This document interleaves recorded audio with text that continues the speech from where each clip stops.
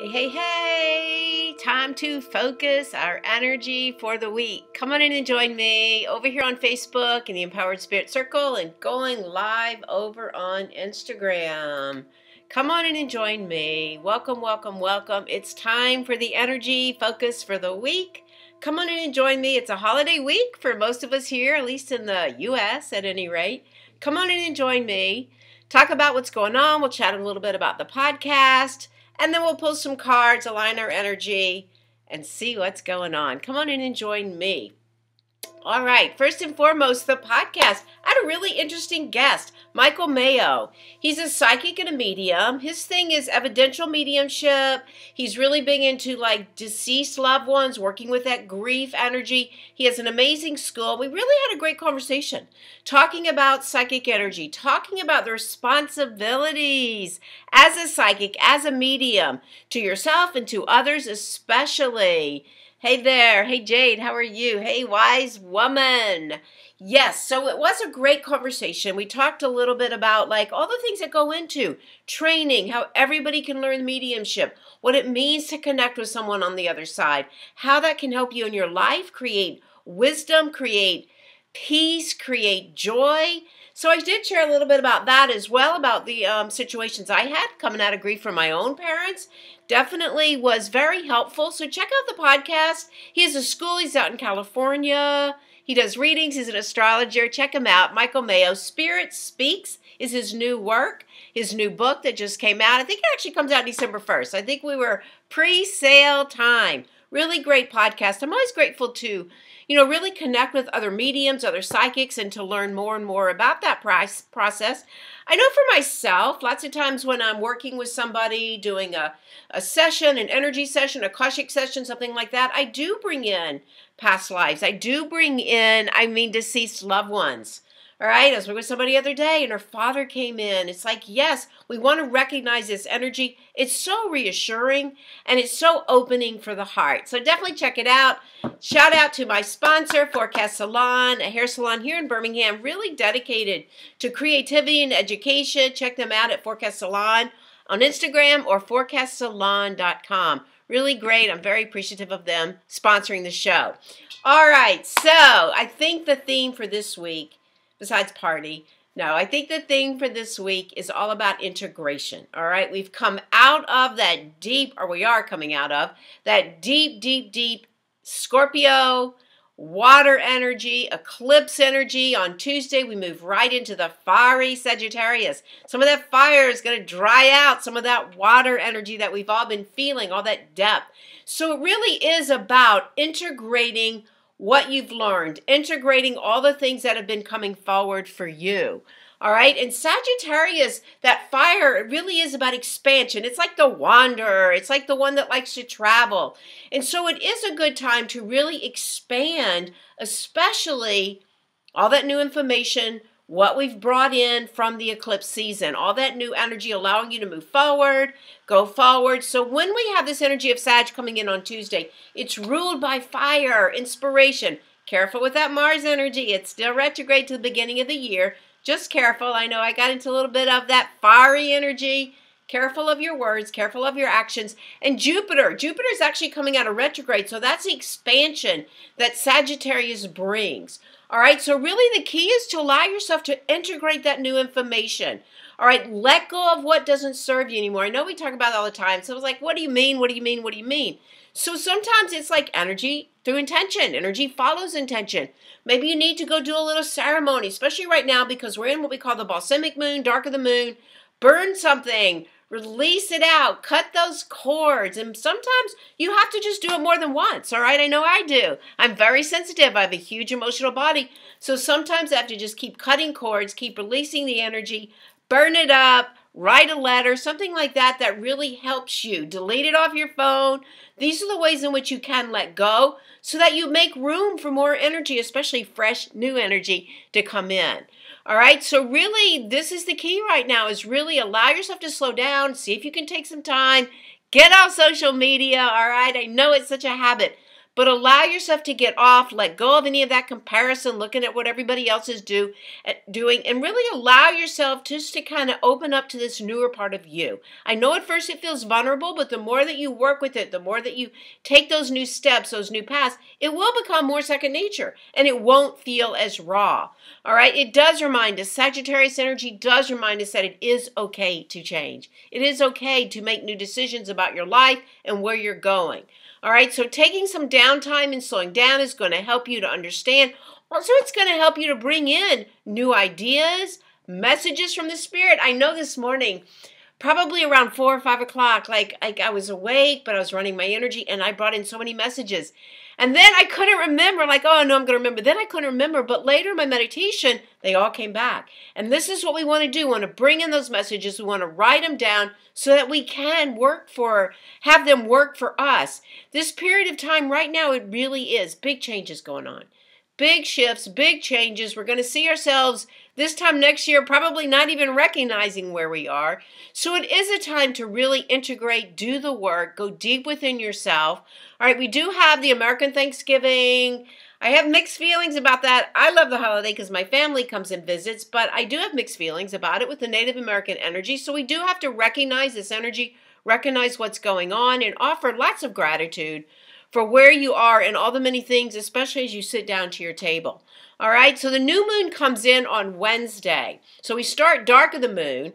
New moon comes in on Wednesday, and that new moon energy is a time to set those new intentions and use some of that fire energy in a positive way, in an inspirational way to set those intentions out for you. Write them down.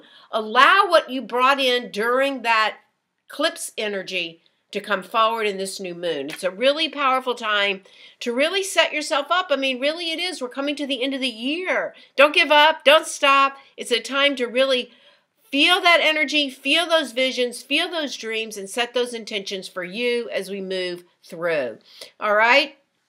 Definitely. So, definitely allow yourself to understand where you are, to use this new energy coming in getting out of the Scorpio and into that Sagittarius energy. All right, let's take a moment and ground our energy and just really pull all that energy back into you. You do need to protect your energy as you move through the family stuff going on. So just taking a moment if you can, light a little sage, light a little incense, and just bringing in that fire energy, the air, of the sage, the smelling, dropping into the heart, the element of water, and all the way down now, exhaling all the way down, grounding your energy. As you take that next inhale, expand through the belly and the side, opening up the chest. And as you exhale, pull all your energy in. Call in your energy, call in your spirit. Feel that alignment coming right in in front of you. Take another deep breath. And as you exhale, just dropping into the heart, the deepest part of your heart, feel that connection that you have with your spirit and the greater spirit. Know that you are known, know that you are loved. Feeling all that energy coming in around you right now, grounding, centering, calling in the masters, the teachers, the archangels, the crystal beings, calling in your own spirit guides. Feeling all this energy coming in around you, as you take a moment with me right now, noticing where you are on this great wheel of life, we find ourselves in the direction of the west for the season of fall. The west is where the sun sets. Imagine yourself in the beautiful colors of the sunset. Noticing your day, the struggles of your life, this is where we look at that. Notice the leaves falling, how they return to the earth. And so we let go so that we can open up to a bigger part of who we are offering gratitude for Mother Earth and all that she brings to your table. As we call in to the west, the north, the east, and the south, above you, below you, right into the very center, right into the deepest part of your heart, just feeling that connection coming in for you as you set your intention, releasing out, opening up, setting that intention for you, and allow those elevated emotions of how you want to feel the peace, the love, the abundance, and let it just radiate out all around you for this week.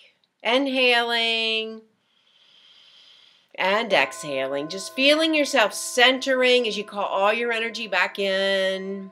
Grounding your energy, coming back, opening the eyes, inhaling and exhaling, feeling yourself centered.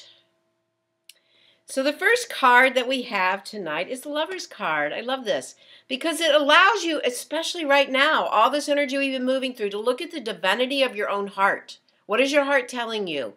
What is it telling you about the relationships you're in? Are you ready to go deeper?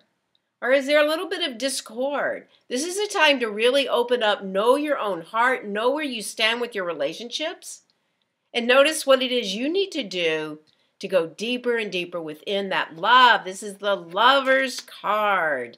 All right, the other cards that come in are really beautiful as well. We have a couple of majors too. Here's the Ten of Earth. So this is an opportunity for gratitude. All right, here we are at the holiday. Gratitude, gratitude, gratitude. The Ten of Earth is really kind of reminding you of all that you've built. I mean, look at this. The house, the home, the structure. Earth is our grounding, our work, our material. 10 is allowing us to really see that full picture because 10 equals 1, then we begin again. But take a moment and really offer gratitude for all the many blessings that you have as you sit down to your table this week with your family. From the water you drink to maybe it's a turkey, whatever it is you're eating, offering gratitude for all the many things, all that effort you put out in the work that you do. Feel it coming in for you. We have the moon that comes up next, all right, that new moon energy. This is talking about your intuition. Are you using your intuition? Are you caught in the illusions of your life? We really want to go deeper and deeper into the intuition, using that intuition, knowing and trusting your gut. So know where you are with this. When this card comes up, I always talk about time to do a little training. Hello. And then we also have the sun card. Some of that fire energy of Sagittarius coming forward. All right, reminding us the sun is shining. This is a success card.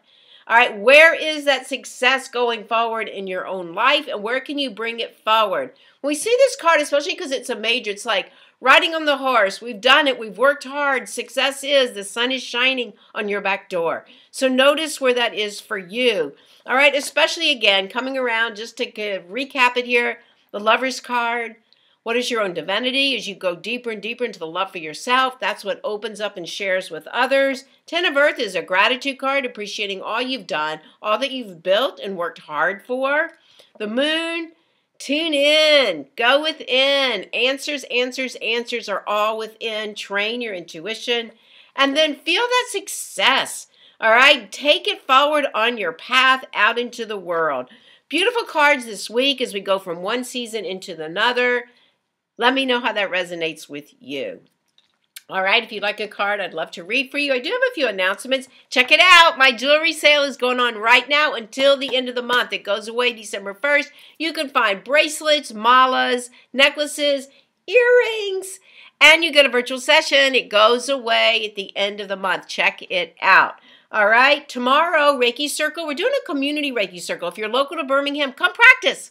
Come practice your Reiki skills. 5:30 at the OHA Bodyworks and Wellness. Come join us. All are welcome. If you don't practice Reiki, you can receive 5:30. DM me, or you can find more information on the website or in my bio link over here. All right, and then definitely the yoga circle. I'll be teaching Tuesday, Awaken Yoga, and Friday as well, restorative and sound bowls. Come check out the yoga classes. Come join me. All right. Definitely. And if you haven't taken my quiz, I have a brand new quiz, The Dark Side of Energy Drains. What is your evil archetype? Check it out. It's a lot of fun. Learn a little bit more about yourself. All right. So if anybody would like a card, let me know. Don't see any requests. Anybody like a card, just post. Let me know. All right, I'm going to draw for Marissa and Mark. They're going to check it out later. All right, Marissa, this card is for you. This is the aha card. This is like letting go of all the judgments we place on ourselves so that you can have that moment of aha. All right, I love that. All right, beautiful. I'd love to have my card read. I've been going through many changes. All right, you'll be next. Mark. Mark, you got the Ace of Fire. Mark, this is new, new passion, purpose coming forward, a new beginning. Feel into the passion and purpose of what it is that you're doing. All right? All right. So beautiful Miss Lele. Beautiful Miss Lele, you got the five of water. So this is some emotional energy going on, some changes coming forward.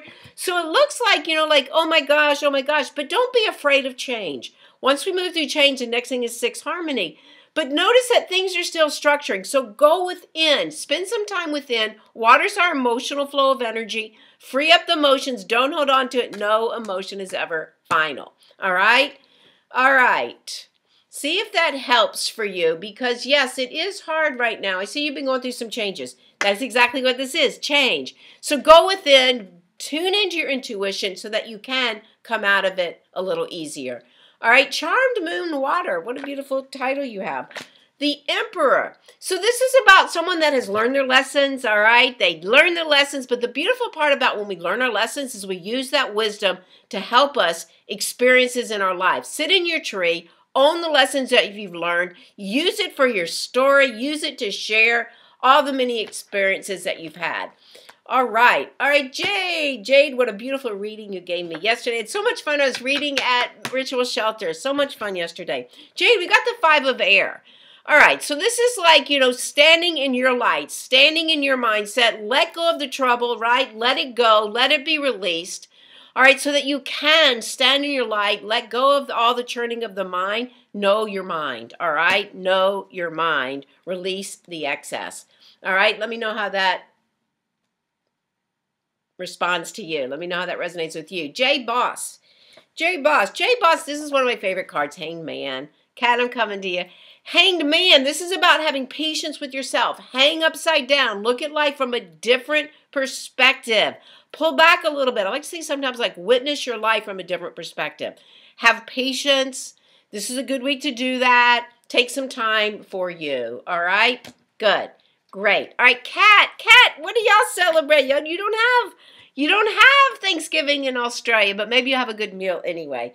All right, Cat, we got the two of fire. So, Cat, this is about like you bringing your purpose more and more out into the world. Look at the hands opening up. It's like bringing it out there and sharing more of your gifts with the world. Beautiful card, all right? Definitely.